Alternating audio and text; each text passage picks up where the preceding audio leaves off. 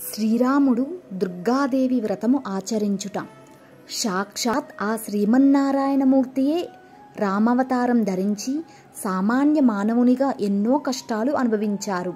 ఆ యొక్క శ్రీరామచంద్రమూర్తి తన భార్య అయిన సీతను రావణుడు అపహరించగా దుఃఖంతో ఉండగా నారద మహర్షి ఆకాశ మార్గాన సంచరిస్తూ వీణగానముతో రామలక్ష్మణును సమీపించి తమ్మునితో కూడి ఉన్న శ్రీరాముని చూసి దుఃఖించుచున్నట్లు గ్రహించి శ్రీరామ నీ భార్య సీత రావణుచే అపహరించబడినది. నాకు కూడా తెలియను.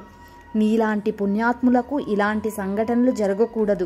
కానీ నీవు రావణుని సంహరించుటకు సంహరించుట కొరకే ఈ విపత్తు సంభవించింది. ఆ రావణుని నాశనమునకు నేను ఒక ఉపాయము చెప్పెదను విను.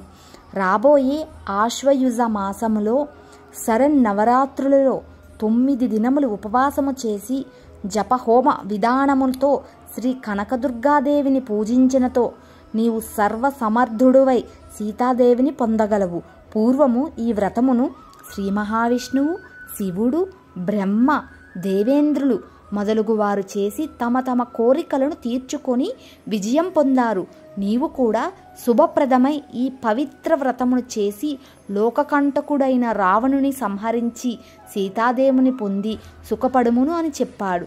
విశ్వామిత్రుడు భృగు మహర్షి వశిష్ఠ కశ్యపులు అపహరించబడిన తమ భార్య కొరకు బృహస్పతి ఈ విధంగా ఎందరో దేవీ వ్రతము చేసి విజయం పొంది సుఖపడ్డారు.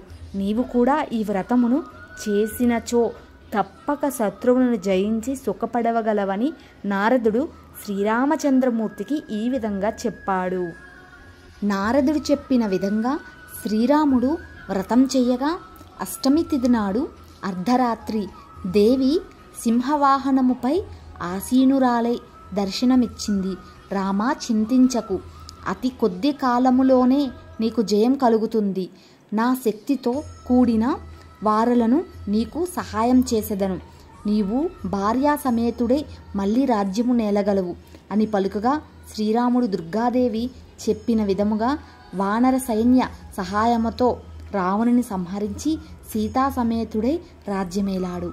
శ్రీమాత్రే నమ. అందరూ ప్రతి ఒక్కరు తప్పకుండా దేవీ నవరాత్రులు మనస్ఫూర్తిగా సంతోషంగా చేసుకొని ఆ అమ్మ దయకు ఆ అమ్మ కడగంటి చూపుకు పాత్రులవుతారని మీ మనోహరి టాక్స్ నుంచి నేను తప్పకుండా కోరుకుంటున్నాను.